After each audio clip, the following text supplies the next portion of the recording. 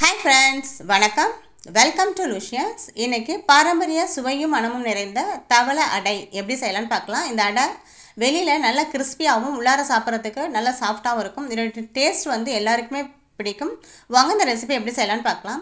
ஒரு மிக்சிங் பவுல் எடுத்திருக்கேன். இன்றைக்கி நான் மெஷரிங் கப்பு தான் பயன்படுத்துகிறேன் அந்த கப்பால் ஒரு கப் பச்சரிசி எடுத்திருக்கேன்.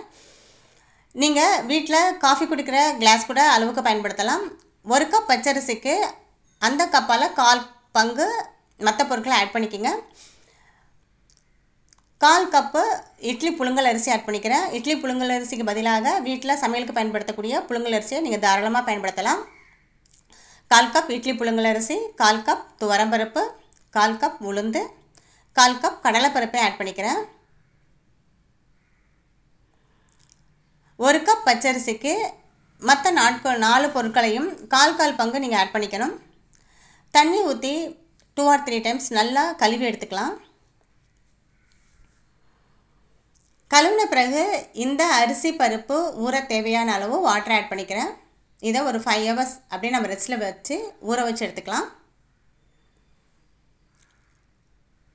இப்போ நான் ஃபைவ் ஹவர்ஸ் கழித்த பிறகு நான் உங்கள்கிட்ட நான் காமிக்கிறேன்.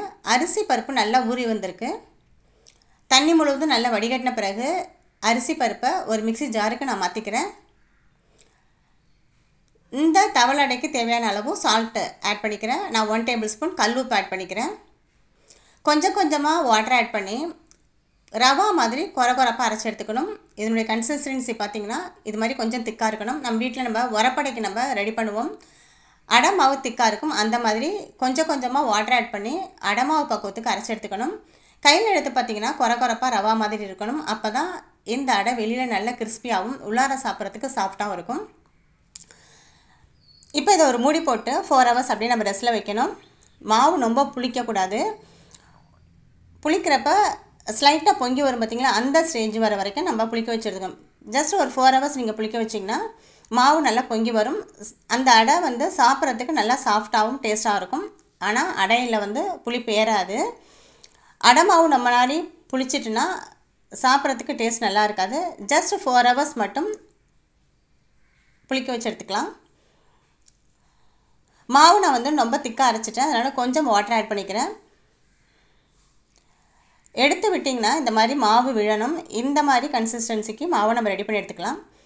இப்போ இந்த அடைக்கு ஒரு தாளிப்பு நம்ம ரெடி பண்ண போகிறோம் ஏழுலேருந்து எட்டு டேபிள் ஸ்பூன் ஆயிலை ஒரு கடாயில் ஆட் பண்ணிக்கிறேன். ஒன் டேபிள் ஸ்பூன் கடுகு ஒன் டேபிள் ஸ்பூன் உளுந்து ஒன் டேபிள் ஸ்பூன் கடலைப்பருப்பு ஆட் பண்ணிக்கிறேன். மிதமான ஹீட்டில் வச்சுட்டு கடலைப்பருப்பும் உளுந்தும் நல்லா பொன்னிறமாக மாறுற வரைக்கும் வறுத்தெடுத்துக்கலாம். கால் டேபிள் ஸ்பூன் ஜீரகம் ஆட் பண்ணிக்கிறேன். சிறிதளவு கருவேப்பிள்ளை நாலு வரமிளகாவை பிட்டு வச்சுருக்கேன். ரெண்டு பச்சை மிளகாவை பொடிசாக கட் பண்ணி வச்சுருக்கேன். அதை இதோட ஆட் பண்ணிக்கிறேன். நீங்கள் சாப்பிட்ற காரத்துக்கு தகுந்தாற் போல் இந்த மிளகான அளவை குறவோ குறைச்சவோ ஆட் பண்ணிக்கலாம். இந்த டயத்தில் ஒன் டேபிள் ஸ்பூன் மிளகு ஆட் பண்ணிக்கணும். முழு மிளகாய் போட்டோம்னா வீட்டில் குழந்தைங்கள் இருந்தானா பொறுக்கி போட்டுருவாங்க. அதனால் ஒரு பத்து மிள மிளகு மட்டும் நான் தட்டி ஆட் பண்ணிக்கிறேன். நல்லா மிக்ஸ் பண்ணிக்கலாம். நல்லா மிக்ஸ் பண்ண பிறகு நம்ம இதில் பருப்பு ஆட் பண்ணியிருக்கோம். அதனால் ஹாஃப் டேபிள் ஸ்பூன் பெருங்காயத்தூளை தாராளமாக நம்ம ஆட் பண்ணிக்கலாம். நல்லா மிக்ஸ் பண்ணிக்குவோம். பெருங்காயம் கொஞ்சம் அதிகமாக ஆட் பண்ணால் இந்த தவளடை சாப்பிட்றதுக்கு நல்லா வாசனையோட டேஸ்ட்டாகவும் இருக்கும். இந்த தாளிப்பை நம்ம ரெடி பண்ணி வச்சுருக்க மாவில் ஆட் பண்ணி நல்லா மிக்ஸ் பண்ணிக்கலாம். அந்த காலத்தில் இந்த தவளை அடையை தவளை பானையில் சுட்டு எடுப்பாங்க. அதனால் இதுக்கு தவளை அடைன்னு பேர் வந்தது. இந்த தவளை பானை எப்படி இருக்குன்னா உள்ளார குழியாக இருக்கும். நான் சில்வரில் உங்கள்கிட்ட காமிக்கிறேன். இது பித்தளையில் இருக்கும். அந்த பானையில் தான் இந்த அடையை சுட்டு எடுப்பாங்க. அதனால் இதுக்கு தவளை அடைன்னு பேர் வந்தது. பித்தளை பாத்திரம் இருந்தால் நீங்கள் தாராளமாக அதை பயன்படுத்தலாம். அப்படி இல்லைன்னா வீட்டில் குழிவாக கடாய் நான் இரும்பு கடாய் வச்சுருக்கேன் அதில் நான் ஆட் பண்ணிக்கிறேன். Two tablespoon oil add பண்ணி நம்ம ரெடி பண்ணி வச்சுருக்க மாவை கொஞ்சம் அதில் ஆட் பண்ணியிருக்கேன் குழிவான எந்த பாத்திரம் வேணாலும் நீங்கள் யூஸ் பண்ணிக்கலாம். இரும்பு கடாயாக இருந்தால் நல்லா கிறிஸ்பியாக வரும் நம்மளுக்கு.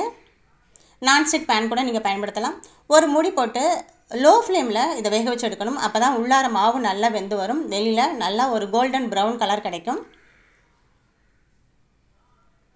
இப்போ உங்களுக்கு உன்னை திருப்பி போட்டு காமிக்கிறேன் பாருங்கள் நல்ல ஒரு கோல்டன் ப்ரௌன் கலர் நம்மளுக்கு கிடச்சிருக்கு. ஸ்டவ்வை லோ ஃப்ளேமில் வச்சு செஞ்சிங்கன்னா இந்த கலர் கிடைக்கும். உள்ளாரையும் மாவு வந்து பார்த்திங்கன்னா பர்ஃபெக்டாக வெந்து வரும். தேவைப்பட்டால் கொஞ்சம் ஆயில் ஆட் பண்ணி மறுபடியும் மூடி போட்டு லோ ஃப்ளேமில் மிதமான ஹீட்டில் வச்சு எடுத்திங்கன்னா நம்மளுக்கு நல்லா மொறு மொறுன்னு தவளாடி ரெடி இது பிட்டு பார்த்திங்கன்னா உள்ளார நல்லா சாஃப்டாக இருக்கும். வெளியில் நல்லா கிறிஸ்பியாக இருக்கும். இதை ஒரு தேங்காய் சட்னியோடு சேர்த்து சாப்பிட்றதுக்கு ரொம்ப டேஸ்ட்டாக இருக்கும். நீங்களும் இந்த பாரம்பரியமான உணவை வீட்டில் ஒரு முறையாவது வீட்டில் உள்ளவங்களுக்கு செஞ்சு கொடுங்க. இந்த வீடியோ உங்களுக்கு பிடிச்சினா லைக் பண்ணுங்கள் உங்கள் ஃப்ரெண்ட் அண்ட் ஃபேமிலியோட ஷேர் பண்ணிக்கோங்க. இது வரைக்கும் நம்ம சேனலை சப்ஸ்கிரைப் பண்ணாதவங்களா இருந்தால் சப்ஸ்கிரைப் பண்ணிக்கோங்க. பின்னால் வர பெல்லைக்கானை கிளிக் பண்ணி அதில் ஆளுங்கிற ஆப்ஷனை சூஸ் பண்ணுங்கள் அப்போ தான் நான் போடுற அடுத்தடுத்த வீடியோடைய நோட்டிஃபி நோட்டிஃபிகேஷன் வரும். Thank you